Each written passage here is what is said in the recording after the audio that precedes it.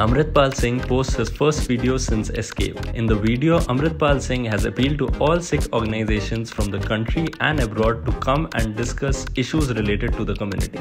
RBI to raise repo rates on 6th April. RBI will increase its primary interest rate by 25 base points on 6th April and keep the rates unchanged for the remainder of the year. India logs single day rise of 2151 COVID cases. India saw 2151 new COVID cases in the last 24 hours, the highest in 5 months, according to the data updated by the Union Health Ministry on Wednesday. Rahul Gandhi to start Karnataka campaign. Rahul Gandhi will begin his Karnataka campaign next month for the state elections due on May 10th.